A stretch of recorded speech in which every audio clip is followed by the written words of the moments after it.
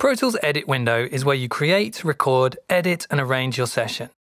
By default, along the top of the edit window from left to right, you will find the edit modes, the zoom cluster, edit tools along with some editing options, counters, grid and nudge values, transport, MIDI controls, and output meters. On the far right, if you click the drop down arrow, you'll see options that let you show and hide these tools, along with other elements of the edit window, so that you can customize it to your needs. If you want to move any of the elements around, then hold Command if you're on Mac or Control on Windows and click and drag. Underneath this toolbar, there is a universe view to give you an overview of your whole session. Below the universe are the rulers.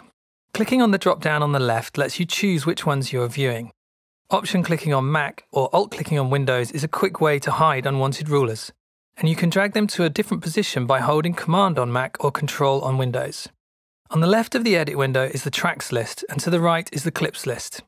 Most importantly, in the middle, you have all of the tracks in your session. This is where you do all of your creation, editing, and arranging. Clicking on the drop down at the top of the tracks lets you show and hide track elements such as inserts, sends, I.O., and real time properties.